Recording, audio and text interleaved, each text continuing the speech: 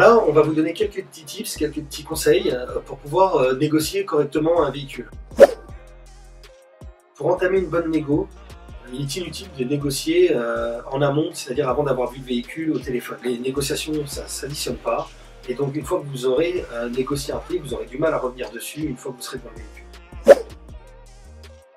Conseil numéro 2, rassembler, glaner les éléments de manière à structurer votre négociation. Si vous n'avez aucun élément sur lequel vous basez, euh, la négociation ne mènera à rien.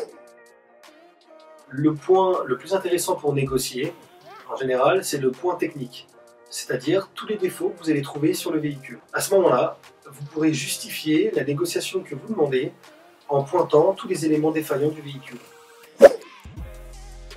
souvent, c'est à la fin de votre inspection, une fois que vous avez inspecté le véhicule et que vous avez trouvé tous les défauts, que vous allez pouvoir entamer une négociation. Euh, conseil numéro 5, ne pas être trop gourmand.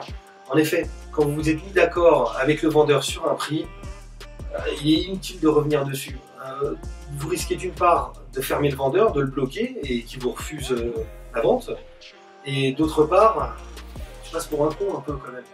En effet, lorsque vous vous êtes mis d'accord sur un prix avec le vendeur, il est inutile de revenir dessus au risque de fermer le vendeur et de rater la vente.